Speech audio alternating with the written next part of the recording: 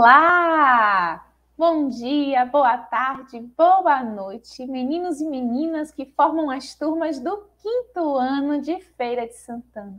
Estamos aqui para começarmos mais uma videoaula aí para juntos termos este momento tão importante de aprendizado, onde você, mesmo de longe, vai aí prestar atenção, ficar com os olhos atentos, os ouvidos atentos a todas as informações que a prova vai passar nesta videoaula para conseguir aí dar continuidade respondendo às atividades programadas por seu professor, sua professora.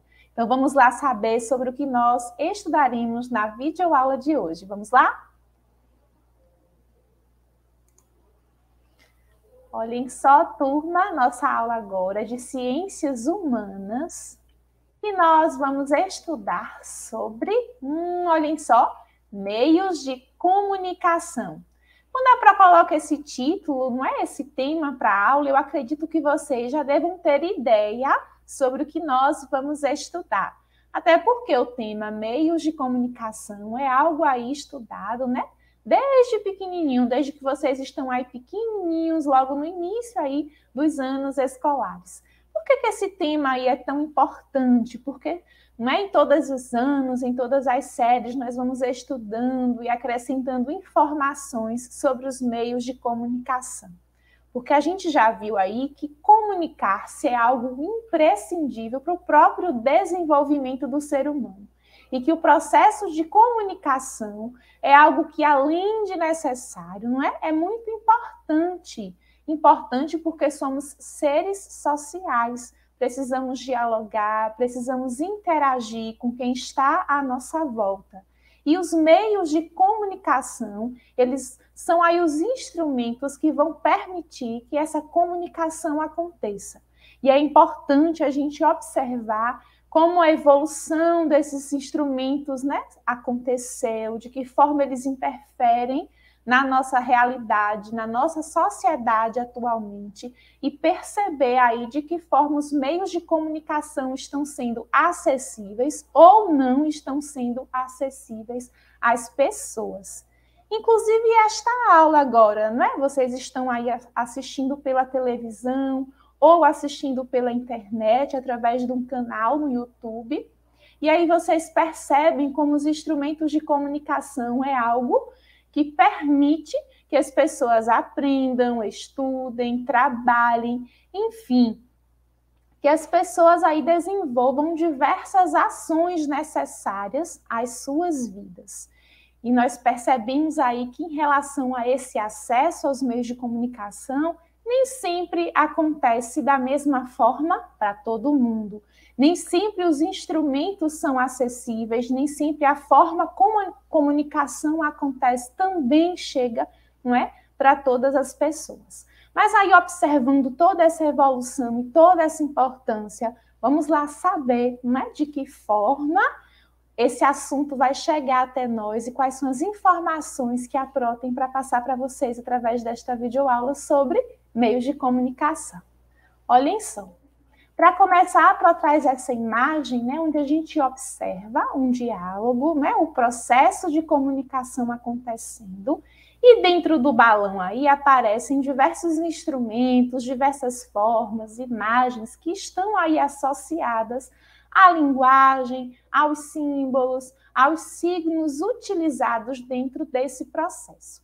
A gente já observou que para que o processo de comunicação aconteça, é necessário ter um emissor, que é quem vai passar a mensagem, ter um receptor, que é quem vai receber a mensagem, mas precisa haver também a linguagem utilizada, né? os instrumentos para que essa mensagem ela chegue, ela saia do emissor e chegue até o receptor.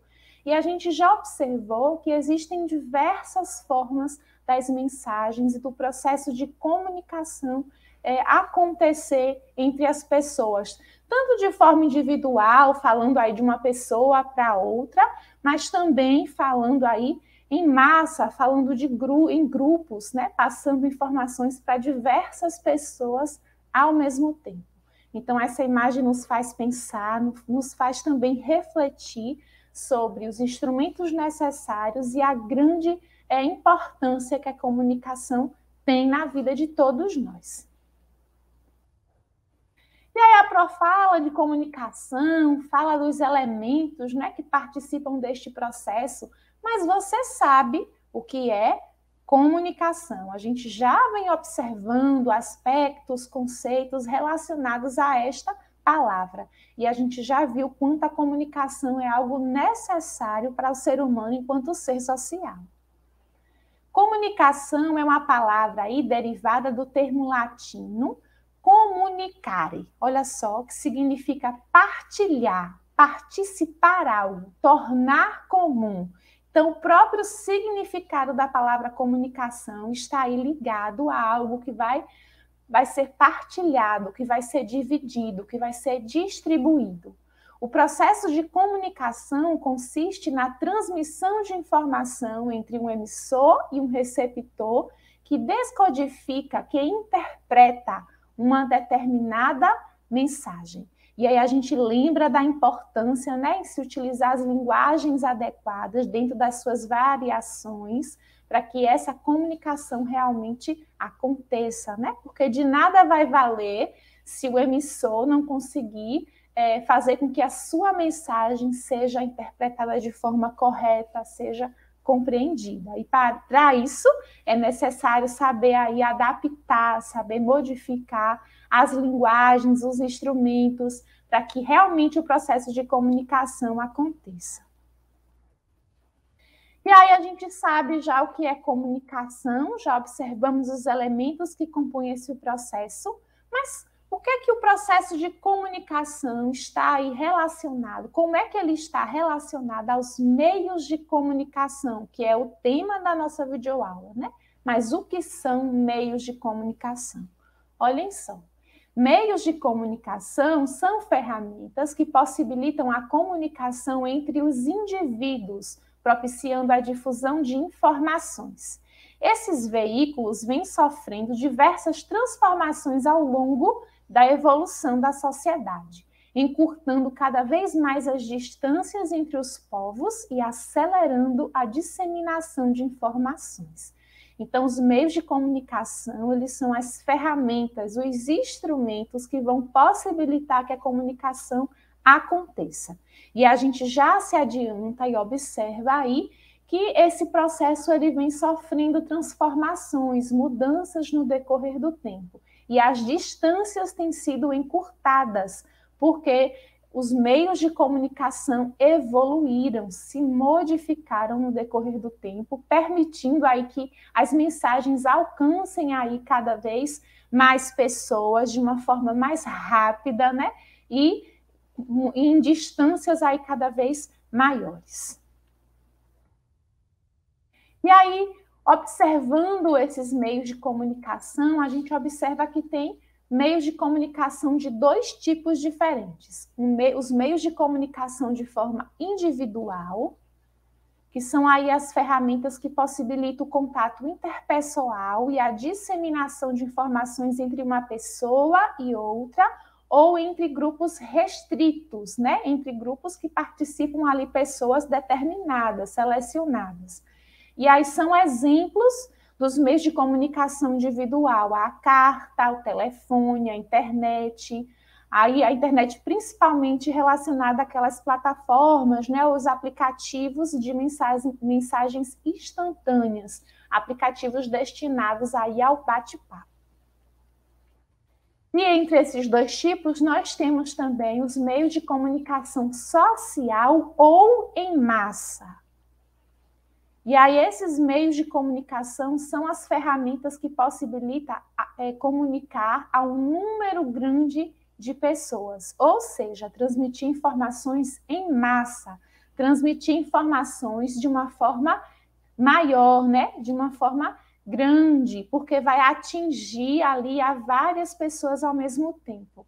E aí são exemplos de meios de comunicação social ou em massa, a televisão, o rádio, e a internet, quando ela é utilizada como veículos de informação. E a gente vê aí sites de notícias, vídeos e outras formas do processo de comunicação acontecer e atingir um número grande de pessoas. Para começar as nossas reflexões aí sobre a evolução, as transformações ocorridas com os meios de comunicação, nós vamos assistir a um vídeo que se chama A Carta. Então prestem bastante atenção nessa animação, é bem interessante. E aí vocês vão se divertir e também aprender um pouquinho sobre esse meio de comunicação que foi utilizado por muitos anos, né? E ainda é utilizado até hoje, mas tem aí a sua importância dentro do processo de comunicação é, humano, na evolução dos seres humanos. Vamos assistir então a carta.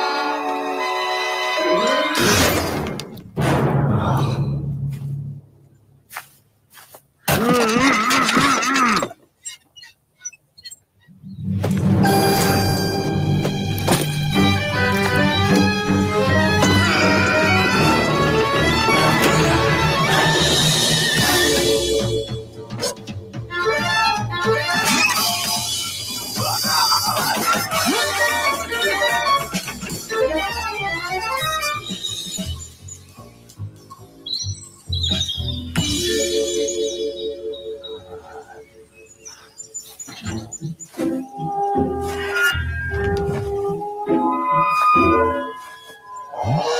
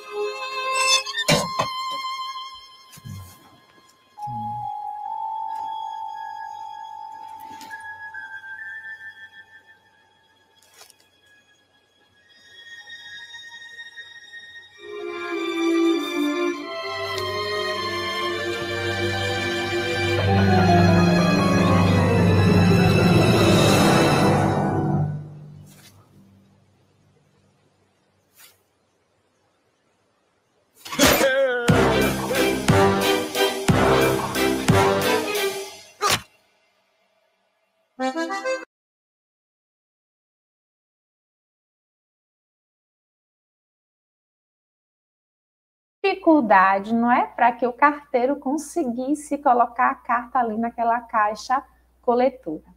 O vídeo faz a gente é, refletir, pensar nas dificuldades em relação ao início desse processo em que os meios de comunicação começaram a serem utilizados dentro desse processo, né, de chegar as informações, das informações é, atingirem as pessoas em determinados lugares, em vários lugares, é acompanhando o próprio processo de expansão territorial, das descobertas de novas terras e assim por diante.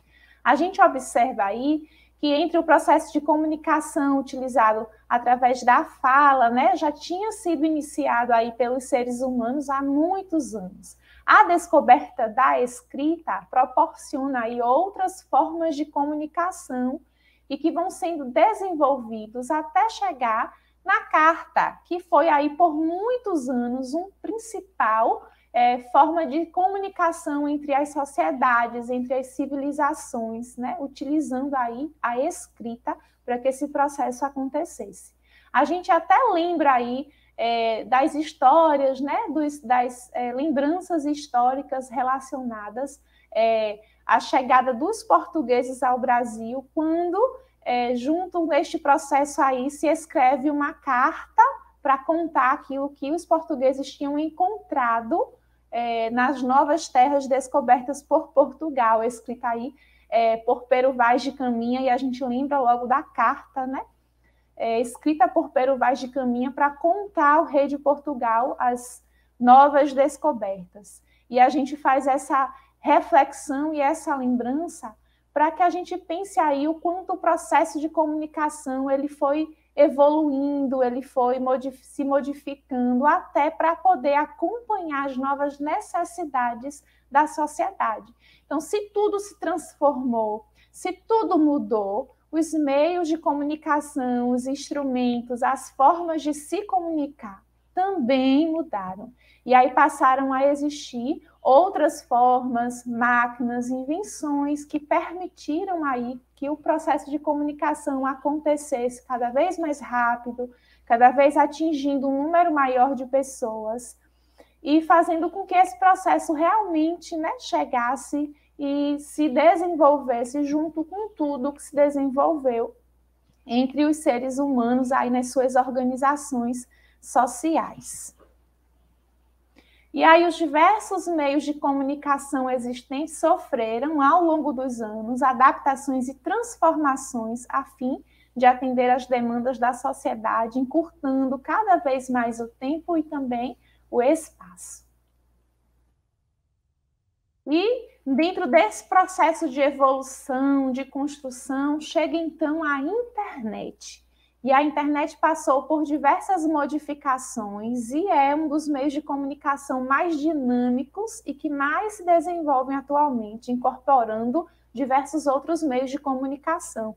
Porque a internet permitiu aí um desenvolvimento dos celulares, do uso aí de outros equipamentos eletrônicos, como computadores, tablets e outros equipamentos que permitem o uso da internet e fazem com que é, exista uma dinâmica muito interessante em relação às informações, porque elas chegam em todos os lugares do mundo, numa velocidade muito rápida, para as pessoas que têm acesso a esses aparelhos e acesso às redes de internet. E aí, observando todo esse acesso, toda essa facilidade permitida pelo uso da internet, observando aí a evolução dos meios de comunicação, que sai lá da escrita, aí se inventa o telégrafo, vem o telefone, a televisão, né? Chegamos no computador, nos celulares, utilizando a internet.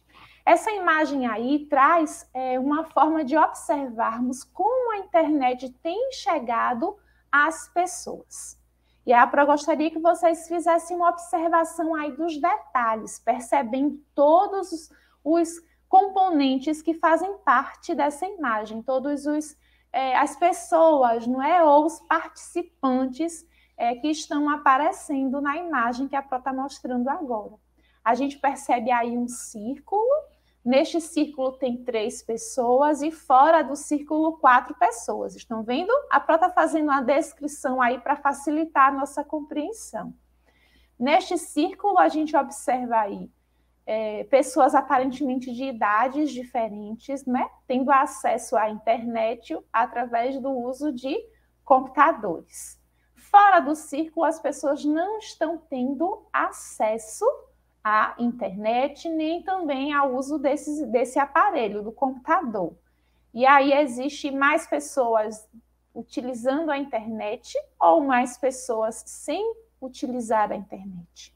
Vamos fazer todas essas observações, porque a partir disso a Pro tem aí alguns questionamentos para direcionar nossa reflexão em relação ao que a gente pode observar da imagem.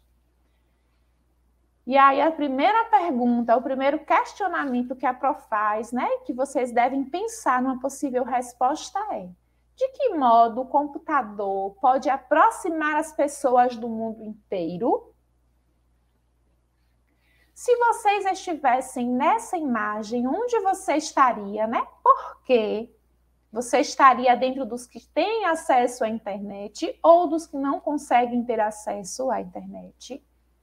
Como podemos ter algo que inclui e exclui ao mesmo tempo? Isso é bom ou isso é ruim? O que parece que as pessoas fora do círculo estão sentindo? Hum, olhem só.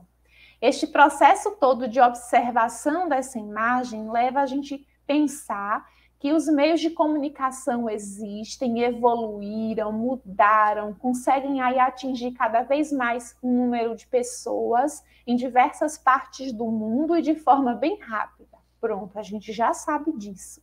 Mas é importante a gente lembrar que alguns meios de comunicação, algumas formas de se comunicar, entre elas o uso da internet, infelizmente, ainda não é algo acessível a todo mundo. Então, existem aí pessoas que não têm acesso ainda né, às redes de internet e tudo que a internet oferece em relação à informação, à participação das redes sociais. E não tem acesso à internet, nem também aos aparelhos que proporcionam né, o acesso à internet como o uso de computadores, de celulares e outros aparelhos que nos permitem aí ter contato com essa forma de comunicação. E o que, é que vocês acham aí que isso se relaciona com o quê? E de que forma é, essa, essa ação de não ter né, é, o acesso à internet como algo para todos pode nos prejudicar ou pode nos ajudar? Vamos pensando aí, refletindo sobre isso. E aí, o que é que a gente não pode esquecer? Olhem só. A invenção da internet, ela modificou tudo aquilo que conhecíamos a respeito das formas de comunicação. Essa rede que integra mundialmente milhares de computadores foi capaz de aproximar pessoas, diminuindo longas distâncias e reduzindo o tempo de transmissão de uma informação. Então a internet tem aí as suas vantagens, não é? Tem aí os seus pontos positivos, porque permitiu uma integração muito maior em relação às pessoas do mundo inteiro.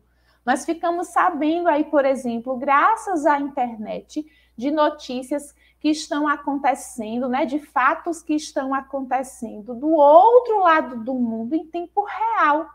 A gente consegue, por exemplo, observar, e a gente já viu isso aí em aulas anteriores, é, informações né, e observar o espaço, por exemplo, através da internet, de coisas que estão muito distantes de nós. E isso é um ponto positivo para o uso da tecnologia, para o desenvolvimento e o acesso à tecnologia permitido né, pelo acesso à internet e os aparelhos que nos proporcionam o acesso a essa forma de comunicação. Mas aí é importante a gente lembrar que no Brasil, a exclusão digital é uma realidade para muitos.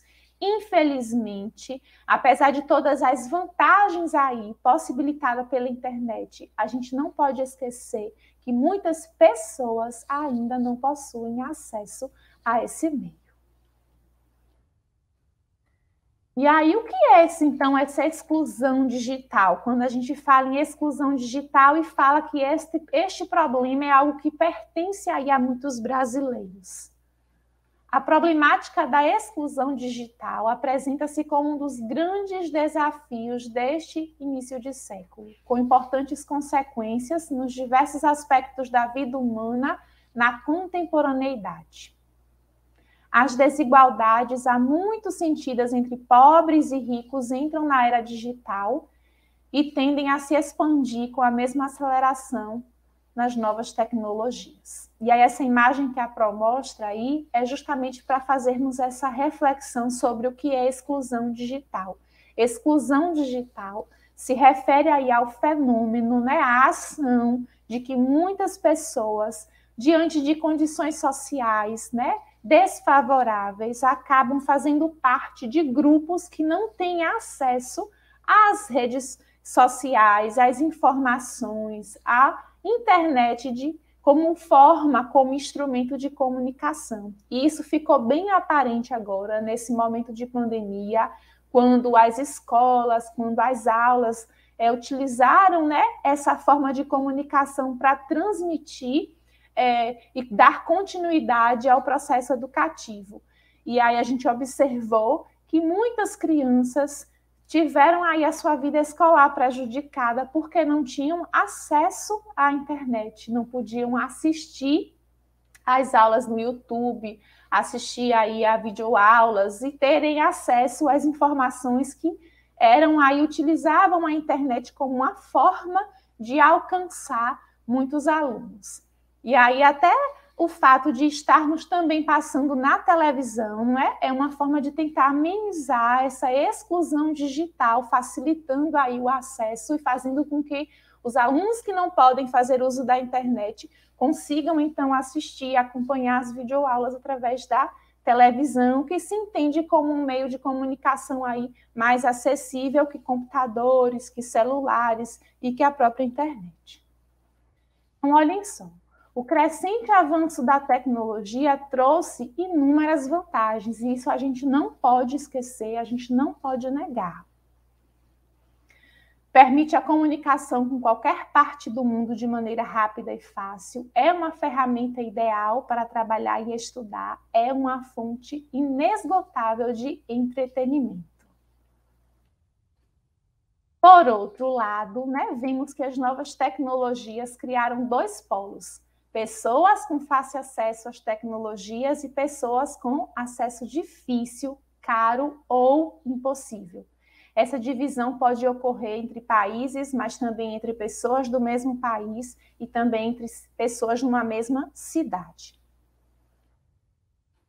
E aí, observando todo esse poder que a internet tem, a gente também não pode esquecer que a internet ela forma opiniões. Então, as pessoas que têm acesso à internet precisam observar todo, todos os pontos positivos e também os negativos relacionados a este meio aí que nos traz informações, entretenimento, e que também nos ajudam a formar as nossas opiniões em relação a diversos assuntos.